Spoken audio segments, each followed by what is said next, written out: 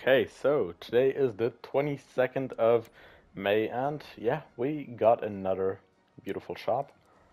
We still have got these two guns, like the Sea Hunter OTS-48K Mark II, and this Major Wharton box.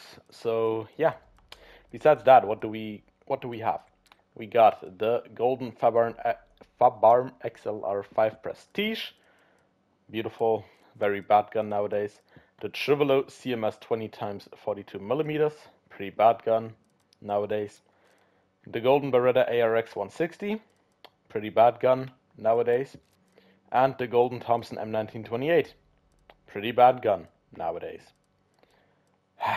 Beautiful.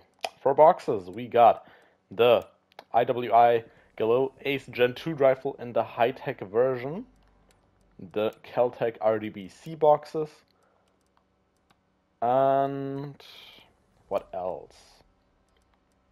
There should be a medic gun. Should be, at least. I mean, I'm not seeing it. Maybe I'm just blind.